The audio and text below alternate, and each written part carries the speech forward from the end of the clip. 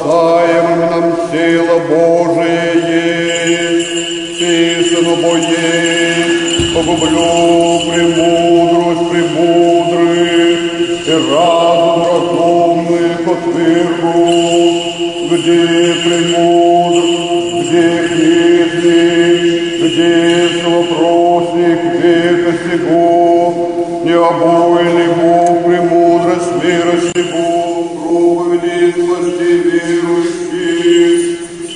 Тебе, Удивись,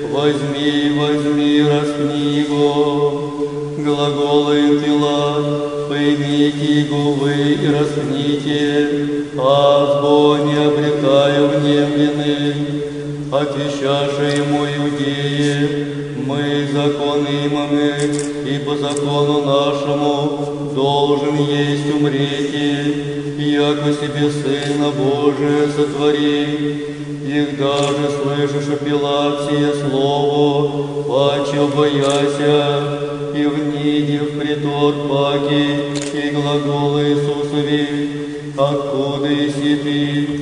Иисус же ответ не дади ему, глагол же ему Пилат, мне ли не глаголыши,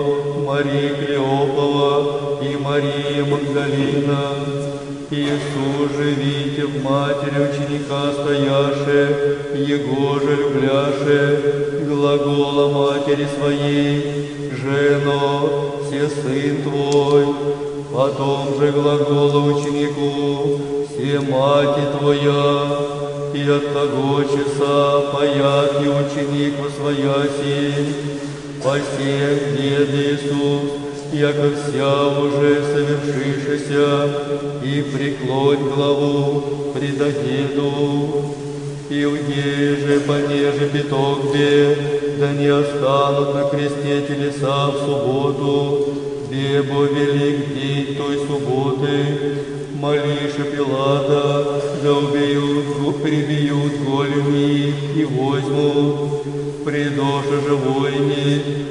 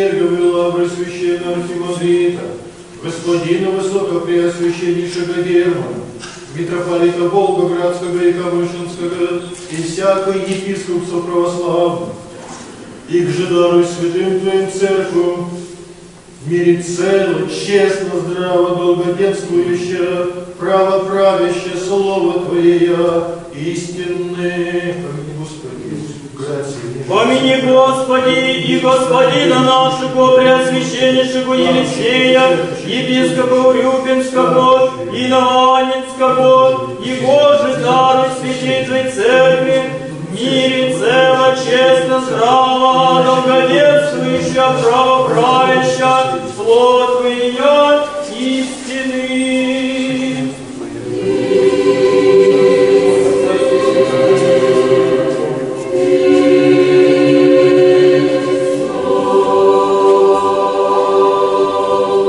И дашь нам единым устыденным сердцем славить и воспевать и причестное великолепое имя Твое, Отца и Сына и Святого Господа, ныне присно во веки веков.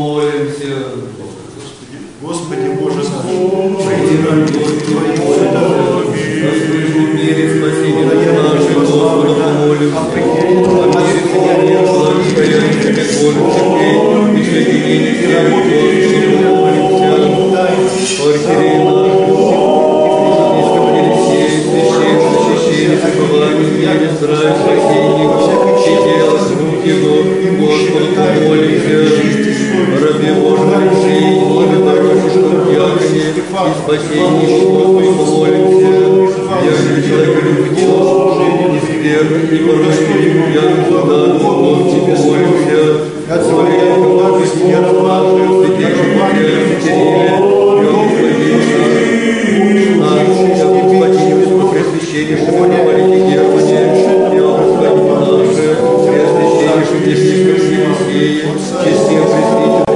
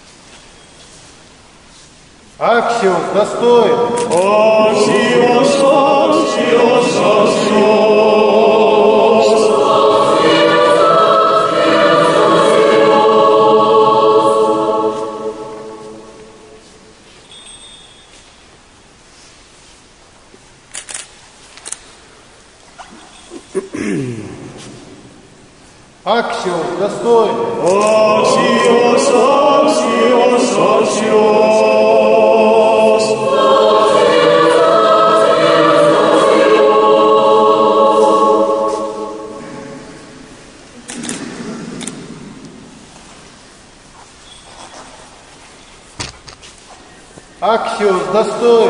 Axios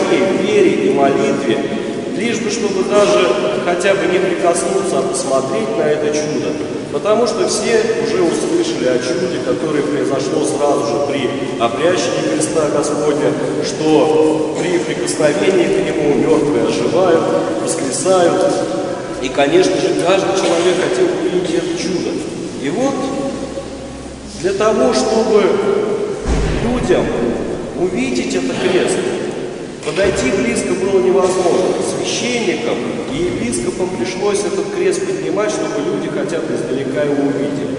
И, конечно же, такое рвение, такое молитвенное состояние человека, конечно же, не было оставлено Господом Богом. Все люди, те, о чем просили, о прощении грехов, о исцелении, конечно же, Господь даровал им такое чудо. И сейчас, уже по прошествии скольких лет, мы, видя, скажем так, крест Господень, видя символ спасения, потому что Господь Иисус Христос наш, войдя на крест, всем грехи мира сам себе уничтожил своей смертью, свое воскресение. И, конечно же, вот этот символ спасения для каждого человека должен э, показать пример того, что мы должны перестать грешить. Почему? Дело в том, что, как я уже сказал, грехи мира были взяты Господом и полностью уничтожены. И не оставаясь, скажем так, наравне с ветхозаветным человеком, где обуревали человека грехи, человек, казалось бы, должен быть уже безгрешным и перестать грешить. Но нет, в нашем мире нас всегда обуревают страсти. И мы с вами прекрасно знаем, что не поддаться греху очень тяжело, а бороться с, гре- с грехом, э, вернее, не поддаться греху очень легко, а вот бороться с грехом очень тяжело всегда. И мы с вами прекрасно знаем, что некоторые грехи мы можем обуревать молитвой, да? Но в принципе каждый грех, он обуревается молитвой. И, конечно же, мы нам тяжело из-за чего? Потому что вокруг нас столько страстей, столько искушений, потому что бесы находятся вокруг нас и раскладывают свои сети для того, чтобы мы в них попали. В некоторых канонах бесы, нечистые духи, сравниваются с пчелами на сотах. Можете себе представить, какое огромнейшее количество пчел на сотах находится. Или сравниваются с хищными птицами, которые кружат над жертвой. Но тоже можете себе представить то, что если человек один оказывается, или какое-то животное в пустыне и уже умирает, над ним начинают кружить хищные птицы. Их огромнейшая туча. Вот столько же вокруг нас и бесов. И, конечно же, каждый из них пытается поймать нашу душу. И вот именно молитвой, и именно только наложением на себя крестного знамени мы можем с вами спастись. Если каждый человек, проснувшись утром, поймет, что мы действительно чада Божие, тогда человек начнет свое утро с молитвы. И весь, все продолжение дня будет продолжаться с молитвой. Ну а заканчивая молитву, мы, конечно же, накладываем на себя крестное знамя. И, соответственно, чем чаще человек будет прибегать к и крестному знамени, тем меньше нас будут обуревать, обуревать страсти, и тем меньше нас будут обуревать эти искушения. И, конечно же, все эти бесов уже будут не так нам страшны.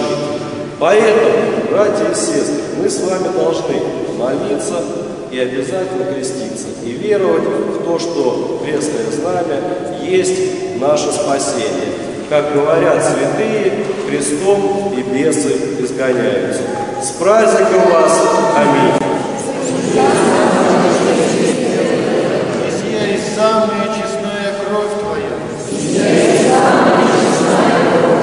Молюсь у Тебе, помилуй меня. И прости мне прегрешение моя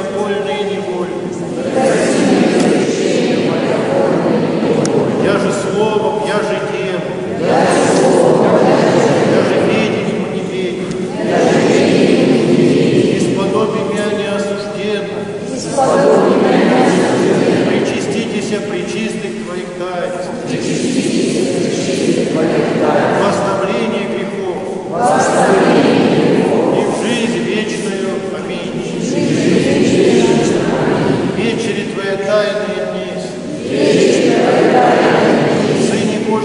причастниками оприми. Ибо врагом Твоим тайну поведай. Не лапзание Тебя, яко Иуду. Як разбойник исповедую Тебя. Помяни меня, Господи, во царстве Твоем. Да не в суд или во осуждение. Будет мне причащение. Святых Твоих таинств, Господи. Новое исцеление души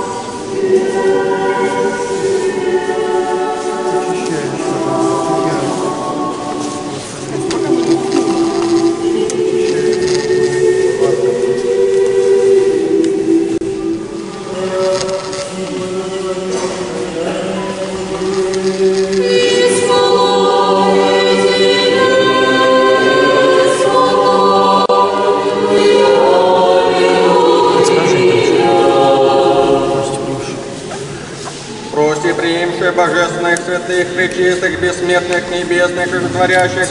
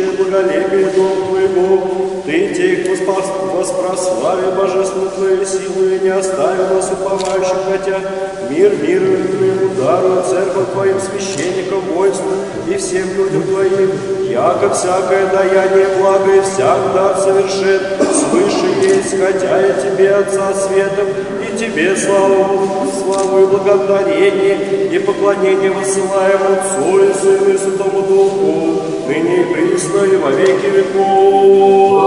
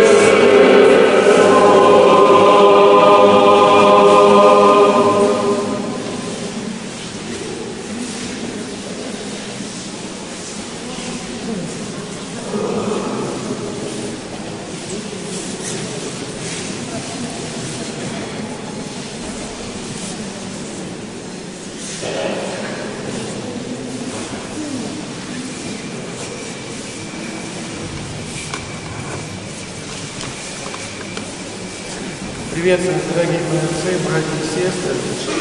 Поздравляем вас с этим праздником. Честнаго животворящего Христа Господня.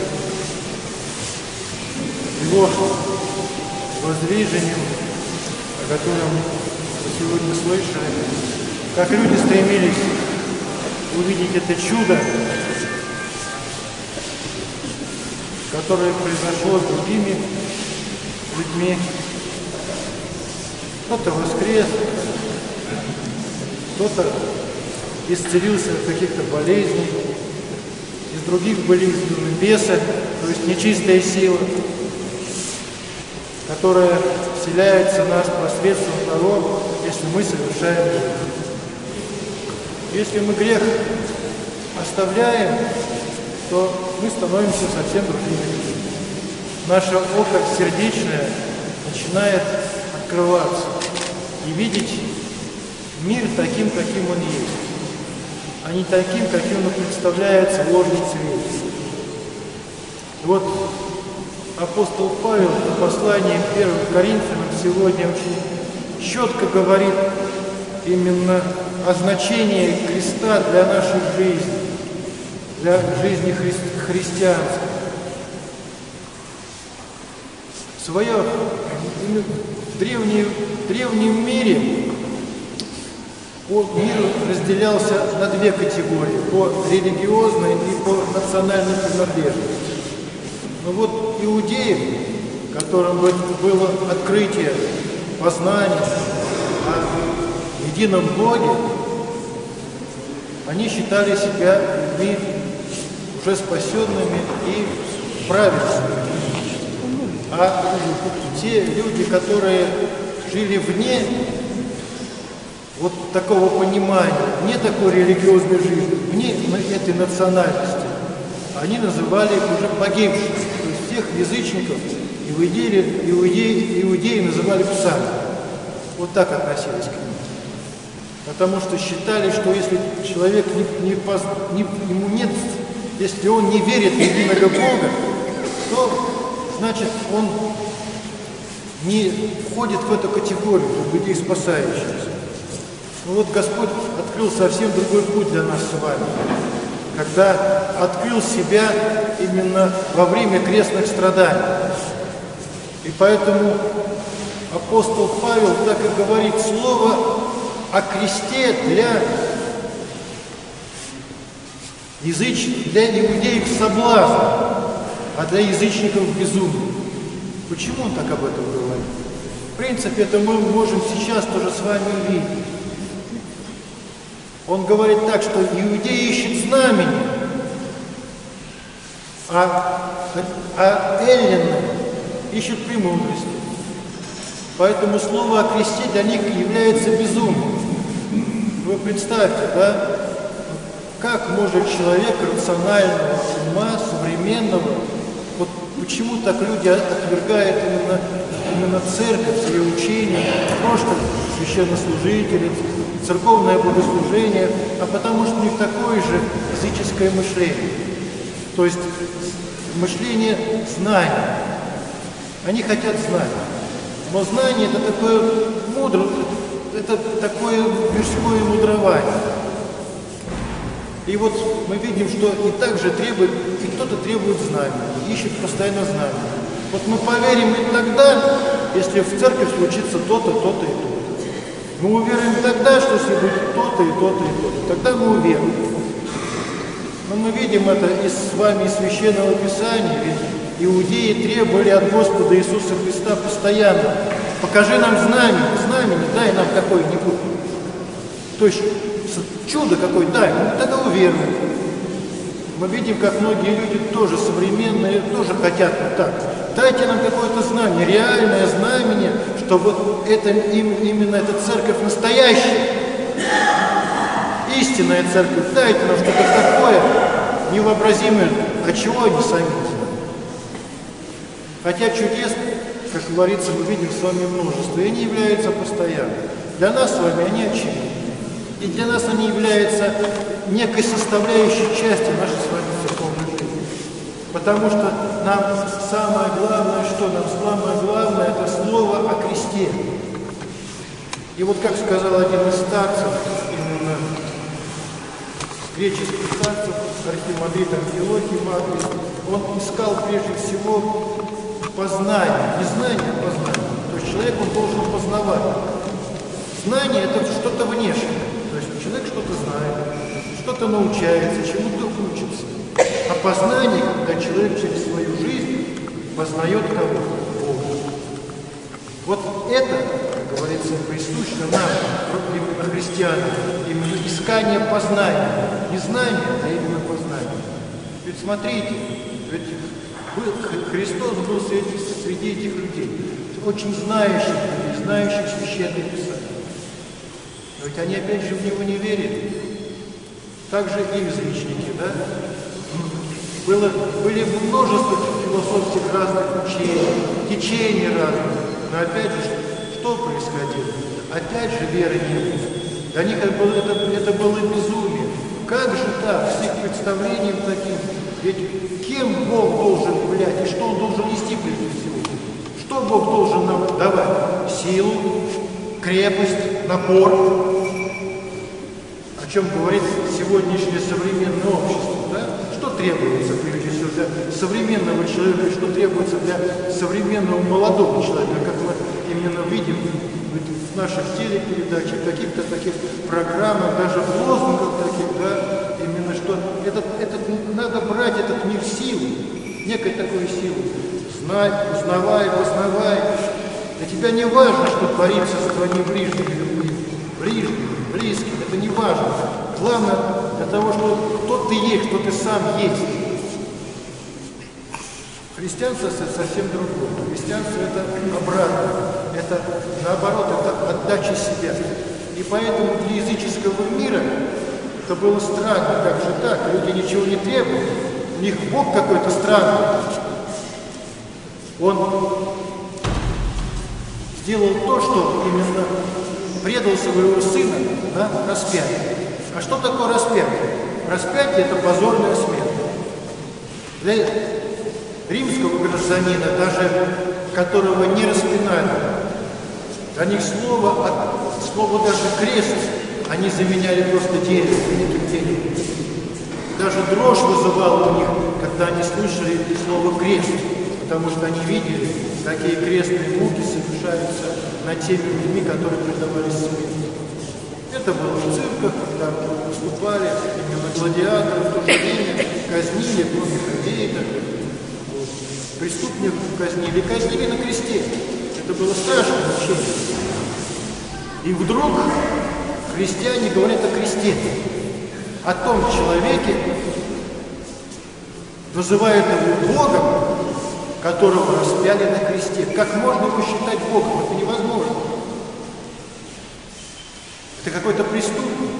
А для иудеев они, никого, они сами никогда никого не вешали. Когда человек или преступник умирал, тогда для именно выявления его позора они вешали его на дереве. Для иудеев было важно что? Чтобы после смерти сразу предать человека земле. Если он предается земле, значит он проклят. А этот человек, который преступник, висел на дереве несколько дней. И вот для них было именно соблазном то, что как можно считать Иисуса Христа Богом, когда Он был, висел на кресте, когда Он не был предан земле. Как можно его Богом? Значит, Он проклят. Для них это было соблазном. А для эллинов это было безумие, потому что для них боги были совсем другие. Это боги были силы, это боги, как можно назвать нашим христианским языком, покровители страстей. А мы знаем, а мы знаем с вами, православные христиане, что, что, что это такое, что, что страсть обозначает. А для язычников эти страсти становились богами. И уже, если мы говорим именно церковное учение, говорит, что человек должен уподобиться Богу, то языческий мир видел это совсем по-другому. Бог должен уподобиться представлению человека. То есть мы с вами, то есть христиане, стараются именно уподобить себя Богу, Иисусу Христу. А человек светский, который не знает ничего, а Иисус или знает, и просто не понимает он понимает Бога совсем другого. Ему, ему хочется именно, чтобы Бог был таким, каким он хочет быть. Поэтому ничего странного у нас сегодня так как у нас определили праздник. В один из величайших праздников. Потому что люди видят все в Иисусе Христе, но некого такого какого-то, говорят, ну, пастор, а так, чтобы видеть в нем именно такого живого, живого Бога, общаться с ним, такого общения. Общение происходит со другими богами. Эти боги называются. Вот поэтому этот мир живет, живет чем? И мы с вами тоже, когда склоняемся делаем какие-то вещи, то мы тоже уподобляемся таким же язычникам. Вот что интересно, да, для христиан крест, слово о кресте это, это слово спасения. Если скажешь человеку другому, светскому, то крест представляет совсем другом ракурсе. Крест это что-то страшное. Крест это ставят его Крест – это что-то, что-то, что представляете, что крест ставится на каком-то деле, как поставили крест на да? Вот. Вот такое Христе. Для человека верующего Христ, слово о Христе является словом спасения. Этим он спасает. Потому что крест является орудием жизни. Для человека неверующего крест – орудие чего? Смерти. Потому что они представляют, вот это я вот как говорил, что крест – это кладбище, и крест на каком-то деле, то есть что-то прекращается. Для человека верующего крест – это символ жизни.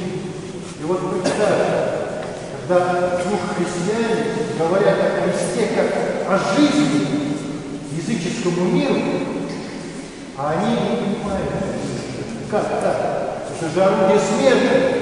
На нем же рабов распинают, разбойников распинают.